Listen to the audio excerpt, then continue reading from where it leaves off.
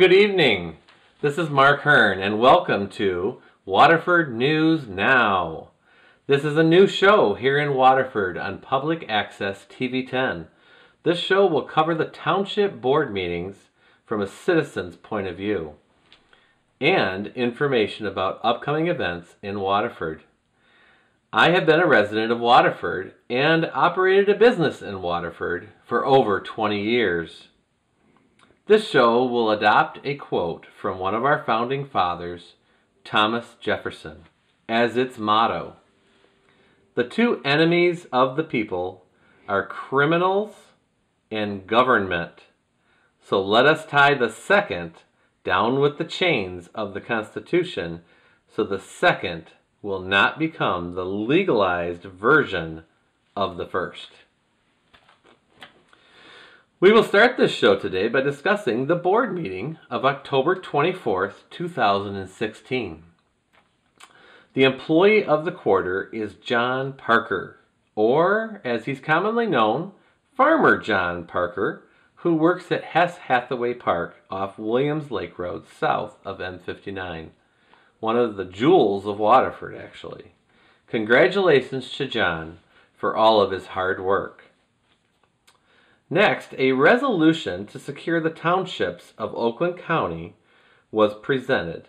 This was in reference to the Syrian refugees that are being allowed by the federal government to migrate into our country. Much controversy surrounds this decision, and that was very evident at the meeting. Gary Wall presented the issue very nicely to start the discussion by telling the very large crowd that his family came from immigrants. Most everyone has. He continued to say this was not a prejudicial decision or an attack on human beings, and that we are focusing solely on the township level only and solely for security reasons. He said this was actually recommended by the OCATS, which stands for Oakland County Association of Township Supervisors. Karen Joliat gave a statistic that Michigan was the top place as far as numbers for placement of these Syrian refugees. I would say around 40 people came to the podium to speak for well over an hour of discussion. Both sides were presented about equally those that wanted to adopt the resolution until a safer vetting process could be guaranteed, to those who wanted to welcome the refugees to our community because that was the kinder thing to do, to those who were totally embarrassed to be associated with Waterford because of this resolution. One business owner passionately told the people in the crowd that he helps many people across the county and was going to be embarrassed to have his business associated with this community and this resolution if it was adopted. At least half were very positive about the resolution, at least until the refugees can be verified and identified. Many said we should follow the laws already on the books as it concerns the way refugees are allowed and welcomed into our country. Some are worried about the potential for extreme beliefs and terrorism in our own community. One person said the citizens are losing control of the government. A local pastor got up and said the resolution was fear based and that he has put together a forum to successfully help these people settle into our community. Another speaker got up and said it was not fear, but reacting to facts that are seen in other parts of the world, like Germany. Karen Joliat again spoke and said she had contacted Lighthouse in Pontiac, and they had seen a couple of these refugees, and they had absolutely no ID of any kind. There were many that spoke about compassion toward these people. It seemed all the speakers had compassion, but some were more worried about health issues of the refugees, diseases they would bring into our community, terror activity, and any financial burdens to our already financially stretched community. Apparently, Pontiac has denied these refugees already. Dr. Hadi Dae an orthodontist in Rochester and a former Syrian refugee himself, spoke about an organization he works with called Syrian American Rescue Network. A thousand have been resettled in Michigan already, he said, and two to three families are currently settled in Waterford, Michigan. They are a very productive community, he indicated. 90% have been put into work programs. He asked for kindness and to welcome these people as building blocks of our future community. A person from Samaritas, which is a Lutheran organization, got up to talk and said there are 4.7 million Syrian refugees, and 2.5 million of those are children. Gary Wall interjected and said when Homeland Security calls and says they have problems vetting these people, then he better listen and protect his community. Anthony Bartolotta, Donna Kelly, and Karen Joliat all spoke as well, assuring the crowd this was just to protect our community and could be changed as soon as policies and protocols were in place to ensure our safety. Most agree this is a safety issue. The resolution did pass unanimously at the final vote. The next item on the agenda was called Developmental Services Personnel Matter. This item was never fully discussed, except extremely briefly by Lou Ferrino, the HR person for the township. He gave absolutely no details and said everything was approved by the Teamsters and it does not touch or affect any other Teamster employee at the township. We wonder if that's true. This issue started when Lou Ferrino was asked by Kirk Simpson for more vacation time. Kirk is the head of our zoning department. He had retired from the Waterford Police Department with a full retirement. Trust me, it is a very good situation that leave our officers with, with our retirement. And we should. Then he was hired to do zoning, and after two years wanted to have the same vacation time that he had when he retired from the Waterford Police Department. Lou did not grant it. Then Kirk Simpson found a way to address the board in a workshop session on September 26, 2016. These are never attended, but are open to the public. I was there for this workshop. Kirk presented that his entire department heads were on board with this proposal, and Lou Ferrino was, and the Teamsters were. He wanted the same amount of vacation that he had when he retired from the police department just a few years ago.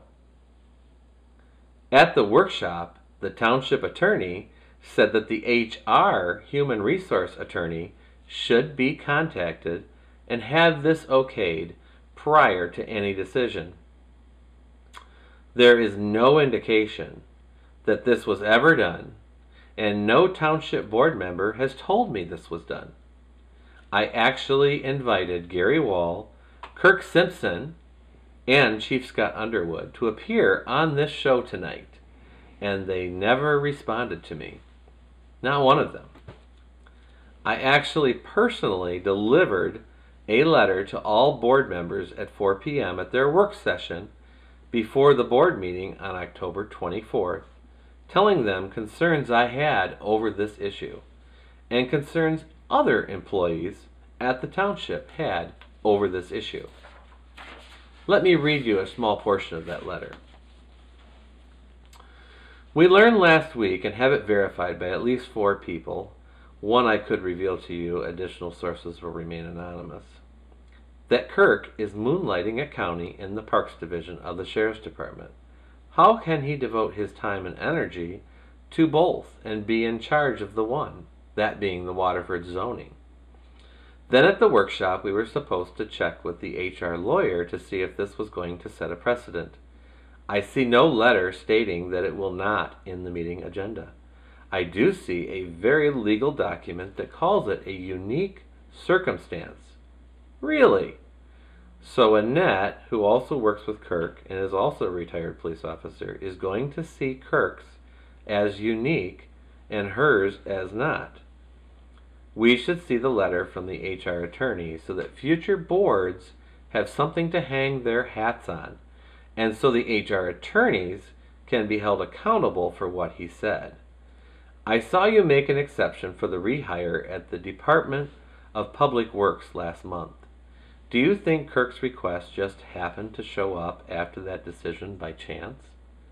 I have been contacted today by people at Town Hall concerning this issue. They quoted, just making sure that I was aware. Ladies and gentlemen, this is not going over well. To sneak this through is dishonest and harmful to the rest of the Teamster employees at Town Hall. Kirk has no unique situation and has agreed to everything he has been offered so far, knowing full well what it all entailed. This should not be accepted. I will not speak at the meeting tonight except to ask if this letter will be put in the minutes. I have already told Gary and Shelley this, but for some reason, even though two changes happened after my request to be taken off the agenda, I was left on the agenda. Hmm. The resolution passed unanimously, and I know some of them voted to help others get the extra benefit within the township employees. The final item was never to happen, and it concerns me and my son actually. We will spend an entire show on this issue in the very near future. But it is embarrassing to see good people act badly. Many lies were expressed, and things were said that I will show with documentation are just outright lies. These people run our government and our police force. In the letter I just read to you, that was given to all board members two hours prior to the actual board meeting and was referenced numerous times by Gary Wall clearly indicated I would not be at the board meeting due to help I needed to provide to my clients and their sick pets. They had this mocking trial scheduled and did not want to deviate from their incendiary plan. We will present the shocking truth on a future program for all to see. Let's move on to the election. Be very careful who you vote for. Will they represent you and carry out your desires and spend your tax dollars as they should? I sent two emails to all the candidates and nobody wanted to speak to Waterford. Now, honestly, it was very short notice. We put this show together in just a very few days. So I can't blame him totally. I did hear from Karen Joliat. She was out of town. Obviously, that won't work if you're trying to interview somebody when they're not home. Robin McGregor and Rita Holloway Ir- Irwin for clerk. They all contacted me but were unable because they were busy getting door to door and could not afford the time to come on our new show. We wish them all well on Tuesday, November 8th. Everyone needs to vote not only for the president, but locally voting for your local representatives and your local township officials is extremely important. It's extremely important. Gary Wall is the only candidate that is unopposed in the township, but I have heard that Diggy the dog is a write in for supervisor. Good luck, Gary. Time will tell. Signs are being stolen. Apparently, there is a white pickup truck that is stealing signs. If anyone knows who this is, please leave a message on our Facebook page. That's the worst thing you can do during an election. Please don't steal signs. The budget meetings were this past week. I attended both days, and I was watching the board go over the new budget, which was proposed by Gary Wall. It, it is not a balanced budget, and in fact is using money from funds the township has set up for rainy days. We will discuss this in more depth on a future show. The expenses for the township attorney, excuse me, the expenses for the township attorney are huge. I personally asked Gary while at the meeting if that was going to be discussed at the budget hearings and was told no. We'll try to dig deeper on that subject and, and get some information for you. Well, finally, we'd like to end the show with uh, some real happy notes about things that are going to be coming up, some of the news highlights in the community. Um, the first one is going to be the tree lighting, and that's going to be on Tuesday, November 29th, in front of Township Hall. Come with your entire family to welcome the season of Christmas. Uh, the Waterford Insider is a wonderful resource for upcoming events in Waterford. Let me touch on a few of these events. Uh, November is a no shave month, so if you see your firefighter or your police officer, um, they haven't shaved, well, there's a reason. They're in a competition against each other. So uh, it's a no shave November for our, uh, our um, firefighters and police. Uh, firemen are heroes throughout our world. Come join the Hometown Hero Party. And you can meet all the local firefighters. That's on Wednesday, November 9th from 6 until 7.30 p.m. Ages 3 to 9 apparently. And it's the fire department headquarters on Crescent Lake Road. Uh, the Veterans Day Luncheon is our next featured event, and that's sponsored by Same Address. It's on Thursday, November 10th at 12 noon. All veterans receive a complimentary lunch. Members $8, non-members $10. There will be a flag ceremony by the Honor Guard from the VFW Post 1008 of Waterford. Special music by Waterford Kettering students. And a tribute to prisoners of war and fallen comrades by Post Commander of the American Legion, Post 377. Please make your reservations by November 4th. 248 682 9450. And that's at the Waterford Senior Center on Pontiac Lake Road. Our next event is the Holiday Shopping Extravaganza. Waterford Senior Center's Holiday Bazaar and Craft Show and Waterford Garden Club's annual Greens Market. And this is Thursday and Friday, December 1st and December 2nd, both days from 9 a.m. until 5 p.m. One stop shop, everyone welcome, free admission, multiple specially selected vendors, lunch and snacks available, antique appraisals, fun raffles. It's at the Waterford Senior Center. That's 3621 Pontiac Lake Road, Waterford, Michigan. 248 682 9450. Our next event is the Dashing Through December, a holiday shopping bonanza. Calling all artists, crafters, and home businesses, the Waterford Coalition for Youth invites you to be a featured vendor. Saturday, December 3rd, 10 a.m. to 4 p.m. This is at Donelson Hills Elementary School. Cost is $50 per table or two tables for 90 Includes one 8-foot table, two chairs, and an 8 by 10 space. Must be handmade or private home business. Questions? Contact the Coalition at 248 618 7424. Hope you'll join us.